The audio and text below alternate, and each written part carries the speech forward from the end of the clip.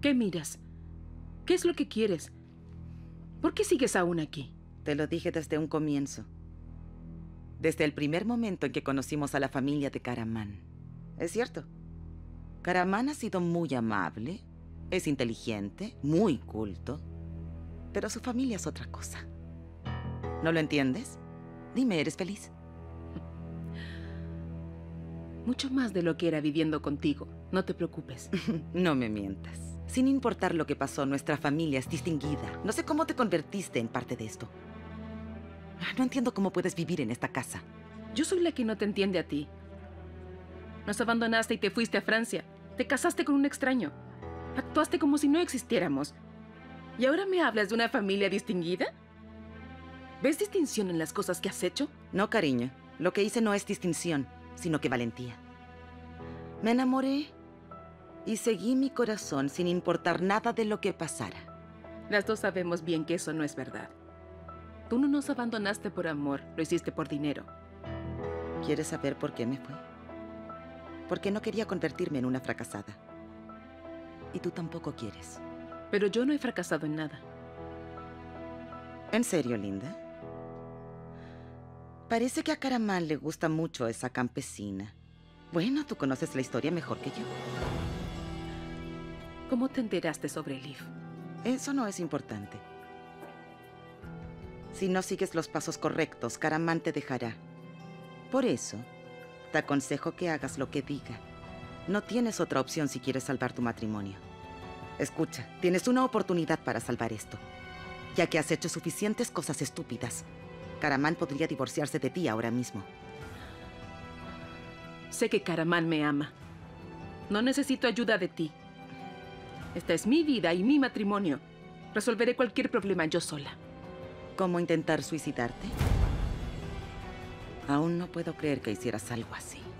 Eso fue estúpido. Ahora haz lo correcto si quieres conservar a tu marido. Si quieres que Caramán se quede contigo, deberás hacer todo lo que yo diga. No, mamá, no lo haré. No significas nada para mí, acéptalo. No olvides que soy la única que puede ayudarte a estas alturas. Hazme caso.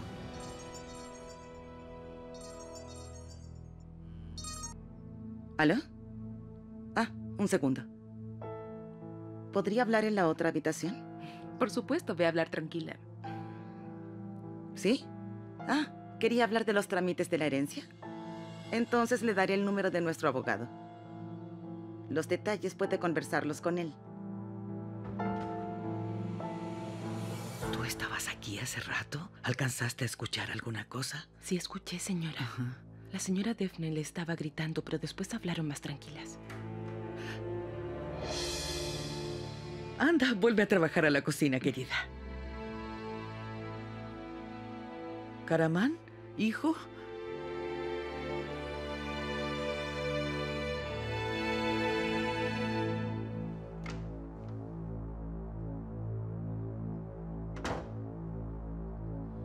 ¿Qué pasó? ¿Cómo está Belif?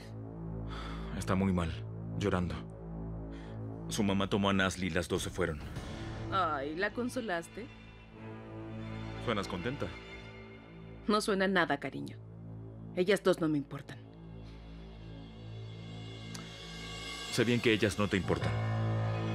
Pero ¿cómo pudiste hacer algo así? Daphne. Ella es inocente. ¿De quién hablas? ¿De Liv? Desde que llegó a nuestras vidas no hemos parado de pelear, ¿no te das cuenta? Pero no, no puedo decir nada de ella. ¿Por qué? Porque es tan inocente, tierna y de buen corazón, ¿no es así?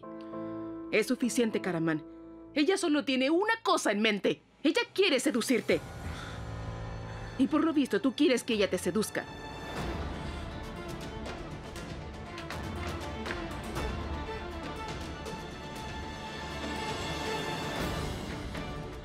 Señora Neval.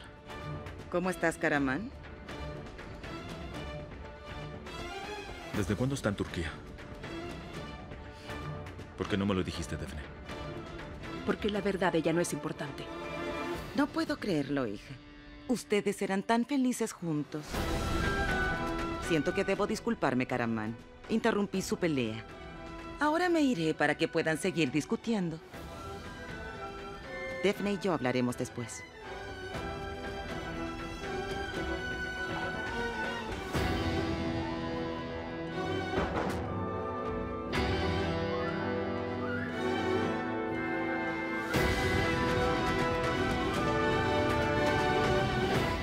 Todos gritan, todos pelean. Con esta energía negativa se han muerto todas mis plantas.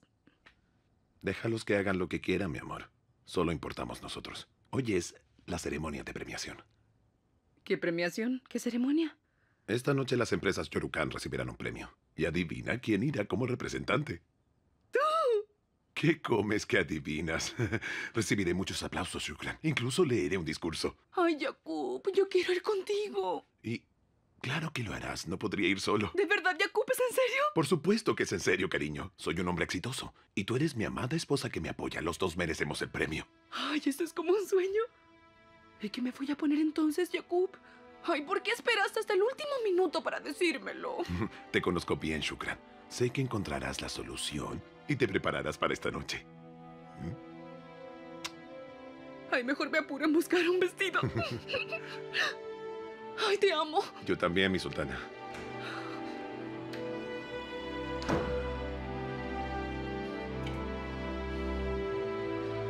Ya está muy viejo.